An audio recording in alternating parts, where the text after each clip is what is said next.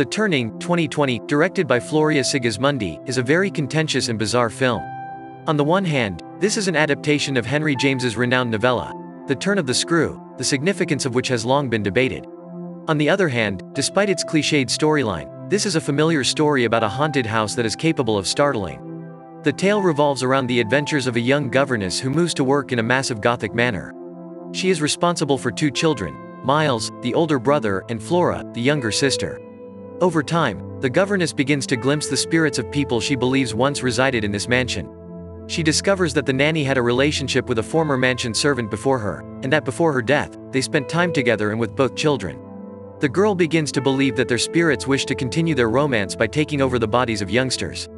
The novel concludes with the heroine taking Flora to London in an attempt to save her brother, but he dies in her arms. There are no signs or hints as to whether the spirits truly existed or if the governess simply went insane and concocted all of this, no. The fact that the turn of the screw does not address whether the protagonist is truly insane contributes significantly to its popularity amid hundreds of similar, more intelligible ghost stories set in mansions. The plot of the film, The Turning, follows a similar pattern to the plot of the novel, but delves deeper into the emotional experiences of the main character Kate Mackenzie Davis. According to the video, the daughter is frightened of losing her mind and becoming like her psychotic mother. She says farewell to her mother, Joely Richardson, who resides in a mental facility and compulsively paints pictures at the bottom of an empty pool, and leaves at the start of the film. Kate takes a position as a governess in a vast estate and either gradually loses her mind or encounters ghosts, the presence of which endangers the lives of her charges. At first glance, it appears like they decided to center the film adaptation on the second scenario. The ghosts are genuine, and Kate truly saves the children.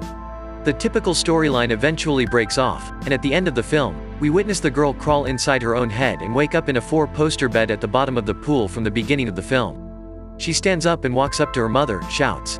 Why? Because she understands she has become her mother and her worst nightmare has come true. The turning ending explanation The film's plot offers two alternative endings.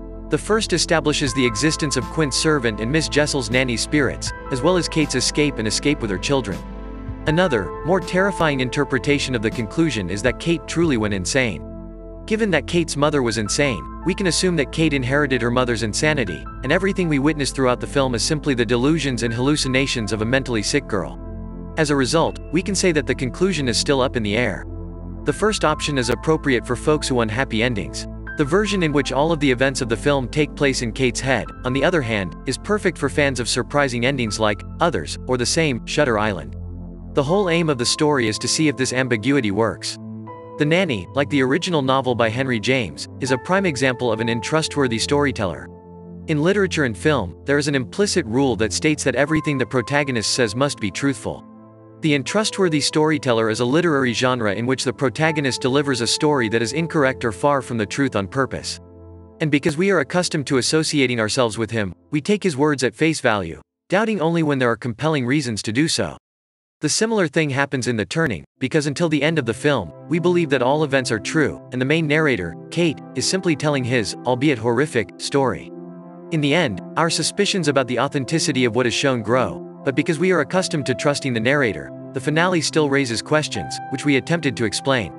The most renowned example of an untrustworthy storyteller in movie is the aforementioned Shutter Island, which we strongly recommend you watch if you are interested in this genre.